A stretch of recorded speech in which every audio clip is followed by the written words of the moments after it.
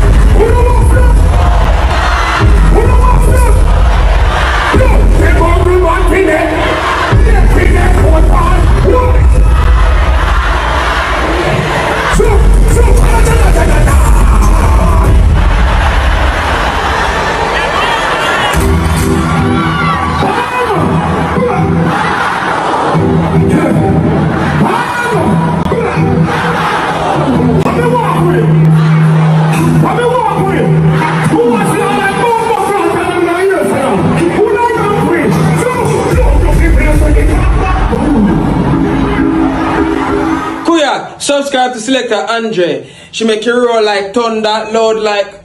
If you're gonna.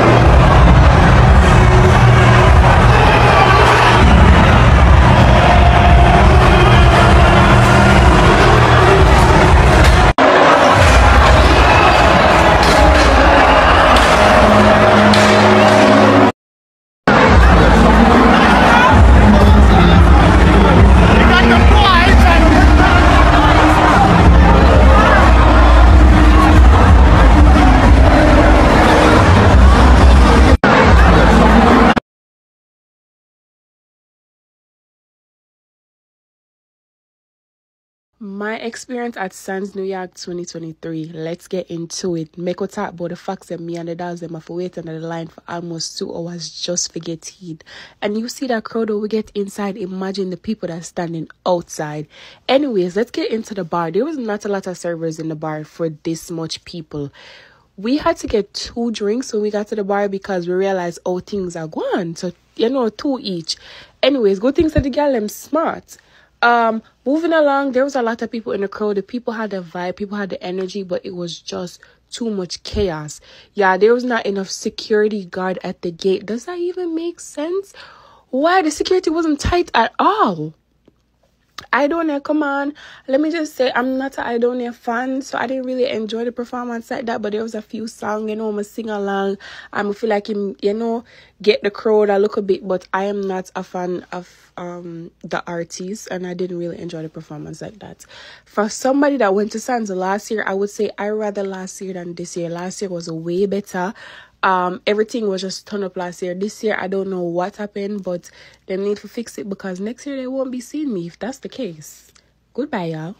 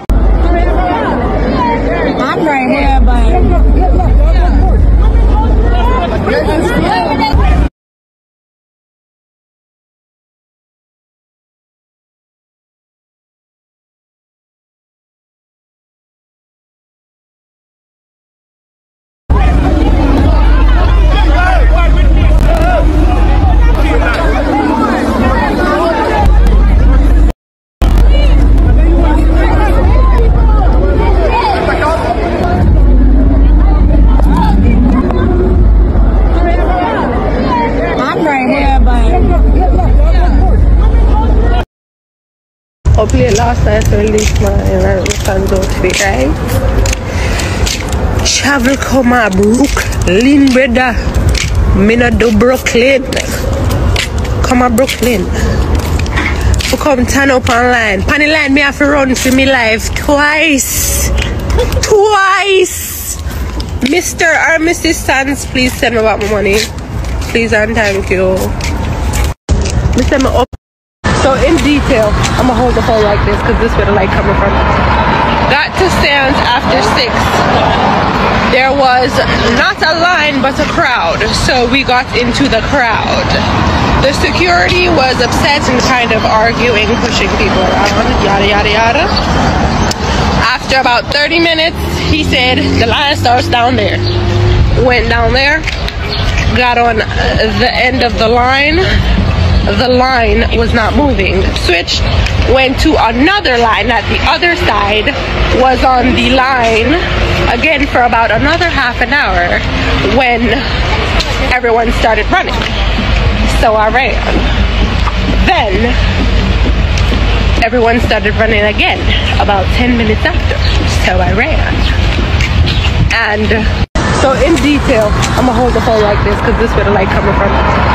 Got to stands after six. There was not a line but a crowd, so we got into the crowd. The security was upset and kind of arguing, pushing people around, yada yada yada.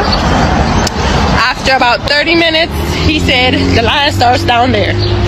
Went down there, so at this point, we crossed the street and we're watching the line from across the street where we can kind of scope out things, you know, get a little extra step if we need to run or whatever. So we on the other side of the road, standing there watching the line. The line not moving. My friend went and looked at the front of the line to come back and tell us we were standing in front of a closed gate. So, so y'all couldn't just tell us. So at this point, we crossed the street and we're watching the line from across the street where we can kind of scope out things, you know, get a little extra step if we need. So after waiting there for a while, we realized that was a hopeless case and kind of just left. On the way back to the car, now it's 8:15. Been there for two hours.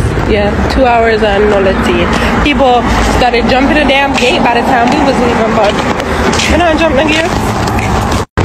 So So since 2023, a lot of people enjoyed it, but unfortunately, a lot of people also had a bad experience, and enough of them sent about them experience over Pinkwall. I'm gonna share a few with you. So one person said, "Had so much fun, Pinky. I got to give the promoters what's due. We arrived at around 4:15. Ease at the gate. Bar was easy to access till around 6:45. Then it got really crowded. Stood in line about 10 minutes to get two drinks. I definitely think the bar could have been more organized. By 8, they ran out of liquor and they had bottles for purchase. I did not at no point feel crammed in a tight space. We had space, breathing room, and could have Billa vibes with the crew. Also, tons of bathrooms, like a lot. The workers did a good job with replenishing the supplies as much as possible. The guys also passed around very frequently, picking up trash, etc. So place, so the place felt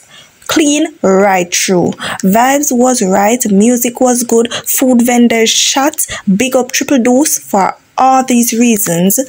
Another person sending to Pinky and say, Pinky run come here. Me like the caption, me nah lie. But differently though, Sandz was organized. People just didn't want to join the line to get in smoothly. Most persons came late, went to the front in front of persons that were in the line long ago. Secondly, they told patrons not to come without a ticket and they still showed up. Like really, why you leave your home? Notice, embassy, all when a million of people outside, there's quiet and a line.